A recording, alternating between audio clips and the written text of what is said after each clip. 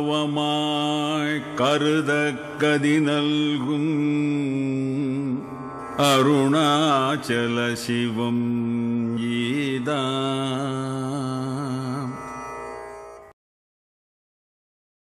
Sri Ramana Bhagavan had an intense and abiding bhakti towards Arunachala Hill. And here we see a drawing in his own hand with a shloka written underneath. And his shloka is known as Arunachala Shiva Dhyanam. In other words, it's a verse for contemplating the reality of Arunachala as a form of Shiva. So you heard it a minute ago in the introduction. So let's go over the meaning real quick here. Karunar Navanaik means being an ocean of grace. Who is implied?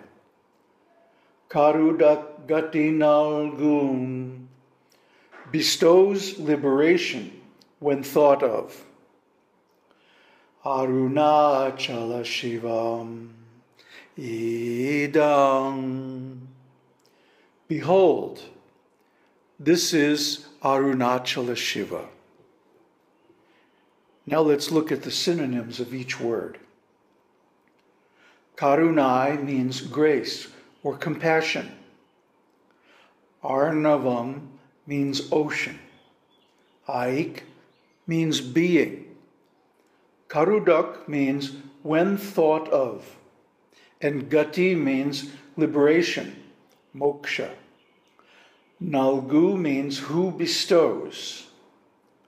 Arunachala Shivam means the non moving form of Shiva who gives release from bondage.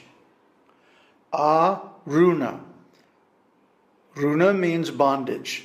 So Aruna means moksha or liberation. And Achala means non moving. Shivam, of course, is the deity, the personification of Brahman. And Idu means this, Am means is. So let's go over it one more time. Karunar Navamaik Karudakatinalgum Arunachala Shivam Idam.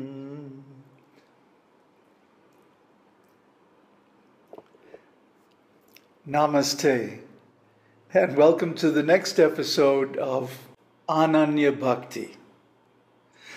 This is called Ananya Bhava. Why is that? What does it mean? Well, bhakti is more than just an emotion, it's more than just a sentiment. Although bhakti is usually translated love, it actually has a much deeper meaning than our Western idea of sentimental love. Much closer to an ontological state of being. So we're going to go through this explanation coming originally from Sadhu Om. And we're going to explain how this is so and what the real meaning of bhakti actually is. The real meaning and necessity for bhakti comes from the fact that we view ourselves as an ego, as a separate self.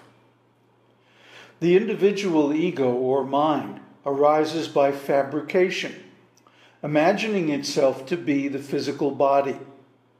It sustains its imaginary existence by constantly attending to thoughts or objects other than itself, experienced as mine.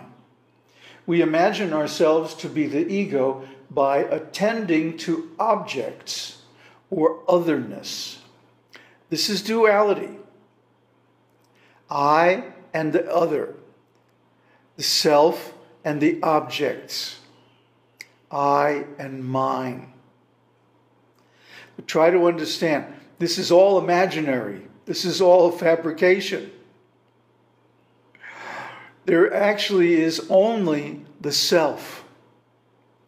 And although various phenomena may arise in the self due to its very nature, these phenomena are temporary, illusory, and non self. So when we look at them as separate from ourselves, first of all, this is imaginary. And when we consider ourselves separate like those phenomena that we imagine, we create ourselves as a subject in relation to those objects. We've been over this several times in these videos in discussing the root sequence, Mula Pariyaya, and how this habitual thought of the self as the acquirer, owner, and enjoyer of separate objects is actually the root cause of the ego, and hence the cause of suffering. So, until we get rid of this mind, this imaginary ego, we're going to be subject to karma.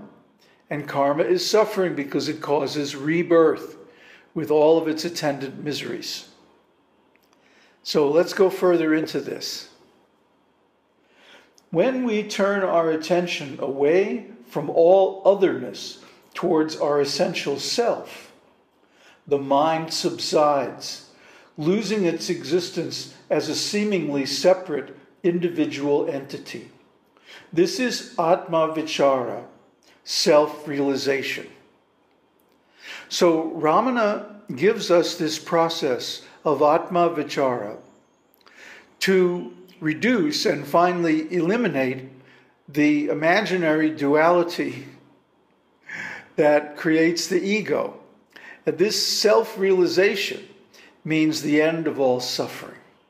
And it's also the uh, essence of bhakti, bhakti bhava, and in this case, ananya bhava. Our true nature is not thinking, doing, having, or knowing anything other than the non dual self as pure, self conscious, absolute being. And of course, all the gurus teaching Advaita tell us the same thing. So then you might ask, well, why didn't the Buddha talk about the self?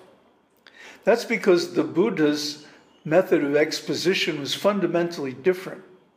He used negative logic, via negativa. And instead of talking about the self, he talked around the self.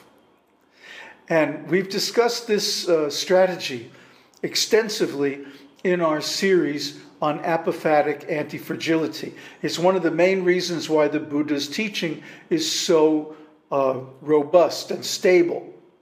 And even though it's been dragged through so many tragedies and difficulties, it remains very effective if you follow it right. So take a look at that, and then we'll continue to discuss on the via positiva, or the positive understanding of the self. Therefore, we can realize our true nature only as much as we give up identification with our constantly thinking, doing, object knowing, acquisitive mind and willingly surrender to the self. Now, how can you surrender to yourself? well, right now we're rebelling against the self. We are distinguishing ourselves dualistically from our actual self. To us, in a state of dualistic consciousness, the self appears as another, especially when manifest as the guru. Therefore, for us, surrender to the self means surrender to the guru. The guru, Ramana says, is always the same, although he may speak through different bodies. And he's never the body that you see in front of you. Uh, he's always different. And this is why mental contact with the guru or a deep understanding of sympathetic vibrations is really the best way to approach this teaching through silence. The reason we think and know objects other than ourself is because of desire. We love to do so, and we love it because we wrongly imagine that we can obtain happiness by owning and enjoying them. I love my car. I love my iPhone. I love my friend. I love my parents, my children, my this, my that. Huh? My this and my that. Well, who is this I that loves all these things? See, this is why to translate bhakti as love is a mistake. Because actually, bhakti is not exactly love. By love, we usually mean lust, desire, and the sentimental emotion based on our desire are either our satisfaction of it or our dissatisfaction, either our frustration or our enjoyment. But this is not really bhakti at all. And it can't be applied to God because God is actually the self, not a separate object at all. So to translate bhakti as love of God is really a misnomer and it leads people to a wrong understanding, thinking that they can enjoy God just like any other object, when actually God is really ourself. The struggle to obtain the objects we desire to enjoy and their inevitable loss are sources of suffering. Indeed, individual existence is temporary and miserable because we split off from and deny our real nature, the self. So, this very existence as an ego is suffering. Why? Because we split ourselves into subject and object. We divide ourselves into self and non self. And what we think is ourself is only the ego, is only a fabrication of the mind. And as I said, we've explained this already in detail when we speak about the Mula Pariyaya. So I'm not going to go into that in detail here. You should already understand this and watch the other videos before you go on. Nevertheless, we cling to individual existence and do not want to give it up because we mistakenly imagine it is a source of happiness. This is our problem. This is why we suffer. It's very easy to understand this teaching of Advaita. It's very easy to realize the self. As Ramana points out, the self is already realized. Because if I ask you, do you exist? Of course, you'll say yes. So that means you are self aware. To be self aware is the symptom of Brahman or the self. Therefore, you are already the self. You have always been the self. The only thing missing is right view. As soon as you get that right view, you'll immediately realize I am the self. Aham Brahmasmi, huh? Tatvamasi. But people don't want to accept right view.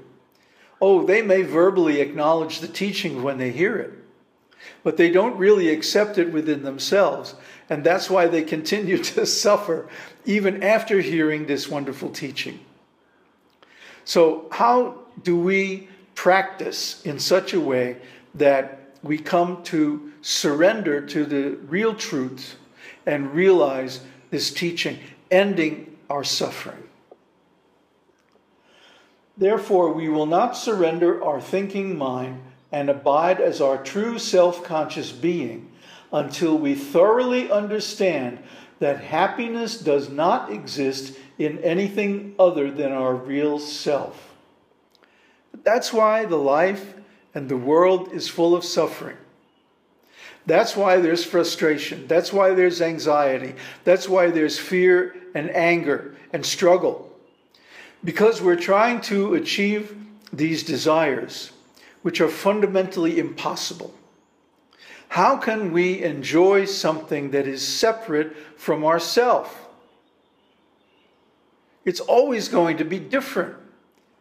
It's never going to be the self. That's why the Buddha says the three characteristics of the world that create suffering are impermanence, uh, unsatisfactoriness, and non self. So, because of these three characteristics, we really can't enjoy living in this world as a separate ego. And that is the incentive for self realization to end this suffering. But we simply have to be able to give up our attraction for and our obsession with living as a separate ego and surrender to our actual self. By such surrender, our love, just to be our real self, will become greater than our desire to think of, know, or possess anything else. Cultivating this surrender and the unconditional happiness it brings is the purpose of bhakti. So, bhakti is not sentimental love, but it is an ontological transformation at the deepest level. That is why I think it's a mistake to translate bhakti as love. Because this ordinary love that we have for these different objects in the world is not going to transform us.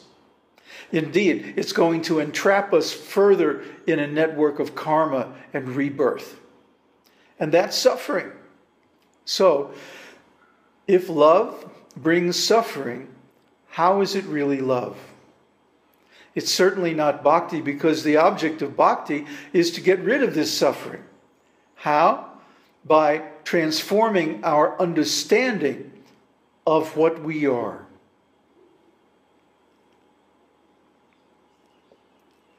to succeed in our efforts for self realization, to surrender our false individual ego and be our real self, we must be consumed by overwhelming love for our true self conscious being.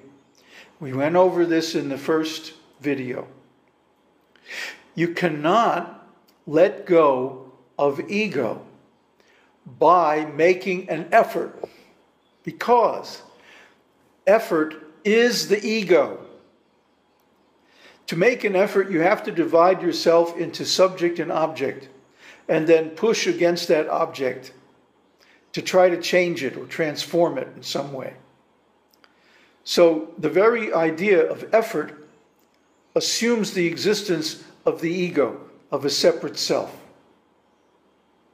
Therefore, we cannot attain the self by any amount of effort.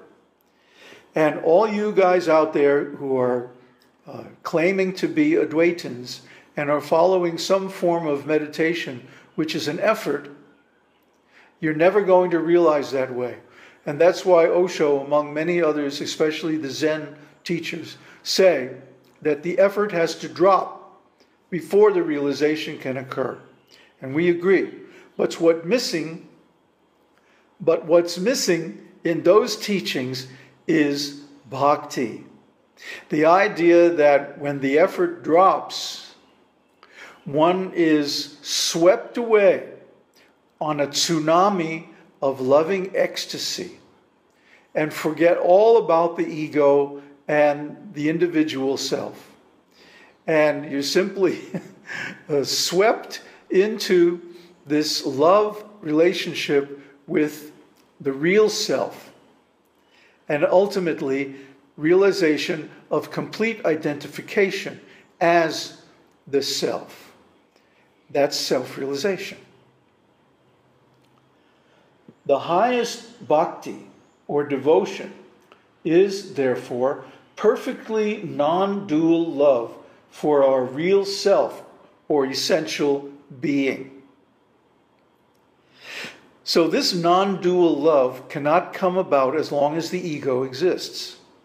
As long as the mind is there, there's going to be duality, a distinction or definition between I and other between subject and object.